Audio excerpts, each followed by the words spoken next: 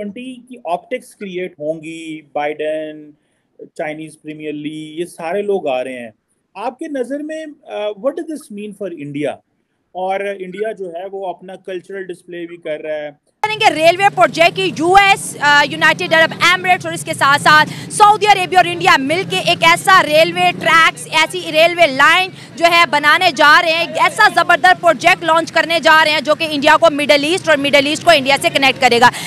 अगर इमरान खान होता है ये जी ट्वेंटी किया G twenty J thirty J fourteen ये सारे इजलास इधर ही होने थे।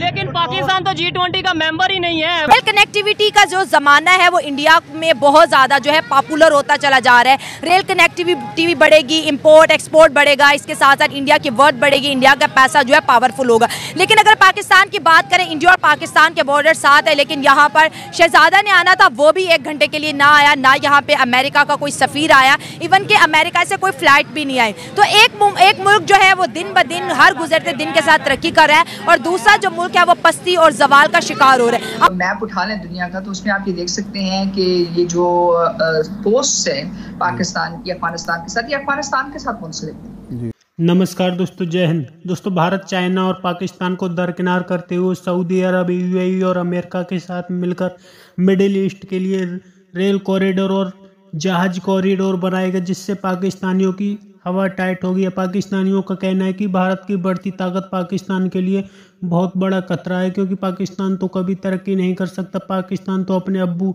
चीन के नीचे दब चुका है, क्योंकि जिस तरह से चाइना अपना B R I P O K और ग्वादर में होकर के गुजार रहा है, उससे बलोच काफ़ी ज़्यादा नाखुश हैं और बलोचिस्तान के लोग आए रोज उस पर हमले भी करते हैं, जिससे चाइनीज़ इंजीनियरों की मौत भी हो जाती है। मैं वो देख रहा था कि जब चाइनीज़ प्रीमियर या बाकी लोग आ रहे थे तो वो उनको एक ख़ास बूथ पे लेके जा रहे थे, जहाँ पे बच्चियाँ जो हैं वो सिंग सिंगिंग हो रही थी डांस हो रहा था कल्चरल ड्रेस पहना हुआ था। और बल्कि ख़ास तौर पे जो मैं मेन्यू देख रहा था, वो जो मेन्यू था, वो वेजिटेरियन था। ये जी साउथ इंडिया का है, ये हैदराबाद का है, ये फ़लाँ शहर का है। तो आप कैसे देखते हैं, अमूमन तो हम मेन्यू जो है वो कम ही लोग अपनी कल्चरल डिशेस बनाते हैं, जो यूनिवर्सली एक्सेप्टेड डिशेस होती हैं, वही होती हैं। सो इंडिया अपने वो जो वेजिटेरियन मेन्यू का भी बड़ा डिस्प्ले कर रहा है कल्चरल डिस्प्ले तो कर रहा है, लेकिन largely what do you think के what is this mean for India and Pakistan as well हमें हमें जारी बात है हमारे जितना इंडिया ऊपर जा रहा है, हमारे लिए और चैलेंजेस बढ़ते जा रहे हैं। गो कि इंडिया अपनी मेहनत से ऊपर जा रहा है बट ऑब्वियसली बिकॉज़ हम पिछले इतने सालों से वो इंडिया पाकिस्तान इंडिया पाकिस्तान कर रहे हैं तो द क्वेश्चन कम्स देखें जी, इस तरह के जो फोरम्स होते हैं, उनके मल्टीपल जो है, वो फ़वाद होते हैं, जिन मुल्कों में मुनद हो रहे हैं। ज़ाहिर है मेन फोकस तो इकनॉमिक है जो बुनियादी तौर पे चूँकि ये एक ड्राइविंग फोर्स भी है दुनिया की बड़ी पावरफुल जो इकानमी के हवाले से कंट्रीज़ हैं तो इस हिसाब से तो इकानमी तो है ही है उसके जो बेनिफिट्स हैं जो दुनिया के साथ ट्रेड और इन्वेस्टमेंट के रास्ते खुलते हैं ये सारी चीज़ें हैं। लेकिन इतना ही इम्पोर्टेंट जो है वो ज़ाहिर है एक तरह का जो कल्चरल आपकी आ, किसी मुल्क में जहाँ हो रहा है उसका जो इंट्रोडक्शन है टू विजिटर्स और जो गेस्ट आ रहे हैं और जो पार्टिसिपेंट हैं। चूँकि ज़ाहिर है कि बुनियादी तौर पे कल्चर जो है, एक इंपॉर्टेंट आस्पेक्ट है लाइफ का, जिसमें फ़ूड है लिबास है, आपकी म्यूज़िक है, आपका लिटरेचर है, आपकी ये सारी चीज़ें हैं, ये इंपॉर्टेंट हैं। और इसी की वजह से असल में किसी मुल्क का एक इमेज जो है ना, वो डेवलप होता है किसी न किसी तरीके से। जिसमें कल्चरल कंट्रीब्यूशन जो है वो ज़्यादा होता है। तो इस हिसाब से मैं समझता हूँ कि वो मौके से एक फ़ायदा उठाया जा रहा है। जो इस तरह के जो इवेंट हैं, वो मनक़द किए जा रहे हैं। तो रहा सवाल इसमें जो है कि पाकिस्तान इसमें शामिल नहीं है। तो ज़ाहिर है कि इस पर तो बहुत बातें हो चुकी हैं। पाकिस्तान के इसमें ना शामिल होने से अगर इस दुनिया में किसी को नुकसान है तो वो सिर्फ़ पाकिस्तान और पाकिस्तान के अवाम है। वायद जी, आप कह सकते हैं नेट शेल में विदाउट एनी जो है वो हेजिटेशन के। तो वो तो उन्होंने अपना नुकसान किया, अपने पाँव पे कलाड़ी मारी है। लेकिन जहाँ तक इंडिया का ताल्लुक है, मैं समझता हूँ कि इंडिया जो है वो इससे पूरा पूरा फ़ायदा उठा रहा है। और अभी तो ये एक तरह का रास्ता खुल रहा है, यूँ समझ लें कि ये डोर्स ओपन हो रहे हैं। और ये मैज एक इवेंट नहीं है, बल्कि इस इवेंट के बतन से आगे कहीं इवेंट्स जो है, वो पूरे पूरे डेलीगेशन साथ आते हैं। मुल्क के, उनके माशी माहरीन साथ होते हैं कल्चरल जो अताशी या इस तरह के लोग होते हैं साथ में।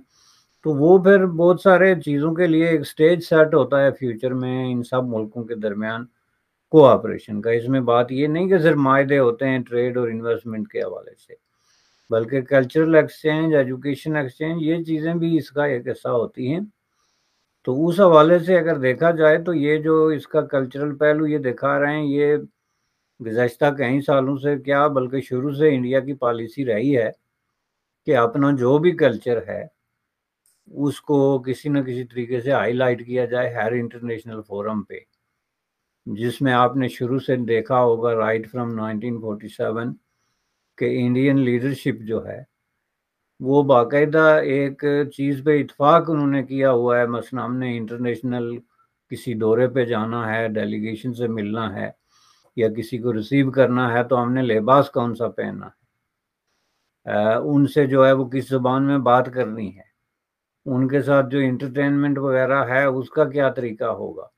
और उसके लिए जो इंडियन म्यूज़िक है या डांस है या जो दीगर कल्चरल आस्पेक्ट है उनको कैसे पेश किया जा रहा जाएगा तो इस हिसाब से उनका मैं समझता हूँ कि शुरू दिन से एक कंसिस्टेंट पॉलिसी है कल्चरल पॉलिसी जिसको आप सेवेंटी फाइव जो है ना हाँ हाँ। साल हो गया पाकिस्तान को बने हुए। गलती से आज़ाद हो गए। क्या? गलती से आज़ाद हुए वे। अलहदा हुए थे। जो इन इस चीज़ में इस मौका की रोशनी में मुखालफत करते थे ना वो मेरे ख्याल में वो लोग ठीक थे। जो पाकिस्तान बनने की मुखालफत हाँ जी अगर मेरे ख्याल में अगर आज अगर वोट कास्टिंग हो ना किसी भी मुल्क के साथ खुदा की कसम हम दूसरे मुल्क को ना वोट कास्ट कर देंगे।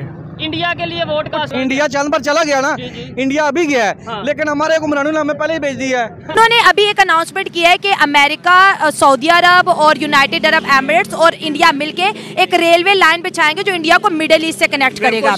इसका उनको कितना अभी ये मीटिंग नौ दस को होनी उससे पहले इतनी बड़ी अनाउंसमेंट इंडिया को आना शुरू हो गया हाँ। कितना पावर करेगी ये? ये बिल्कुल सही है वो अपने अपने फ्यूचर के बारे में सोच रहे हैं। पाकिस्तान को किसी जगह पे वेट नहीं दिया जा रहा।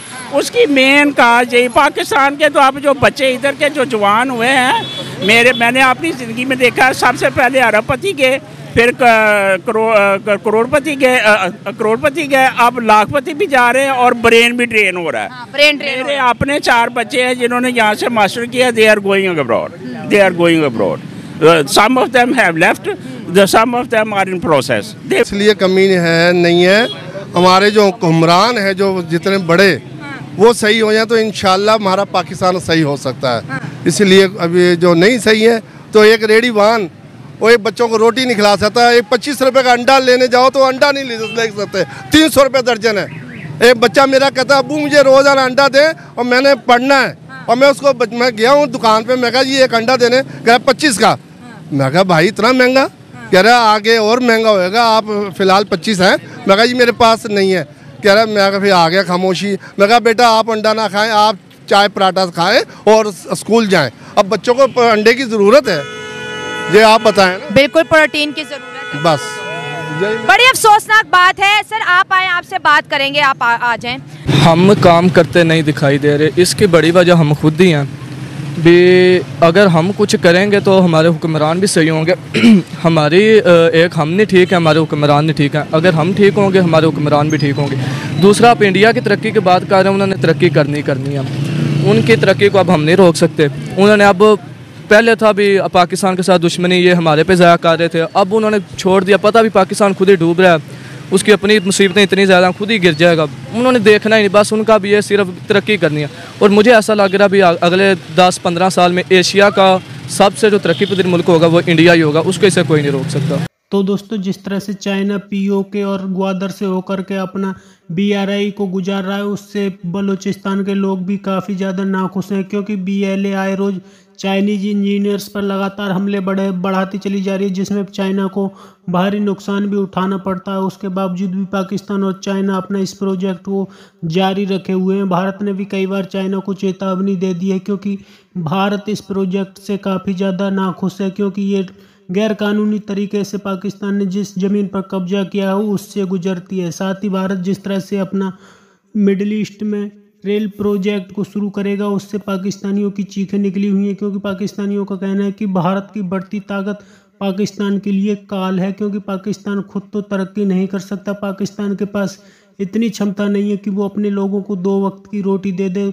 और तो बहुत दूर की बात है, क्योंकि पाकिस्तान में इस वक्त भुखमरी फैली हुई हर तब, हर तरफ़ लोग प्रोटेस्ट कर रहे हैं। आपकी क्या राय? कमेंट में ज़रूर शेयर करें। यदि आप चैनल पर नए चैनल को सब्सक्राइब करें, वीडियो पसंद आए तो लाइक करें, कमेंट करो और शेयर करें। जय हिंद, वंदे मातरम।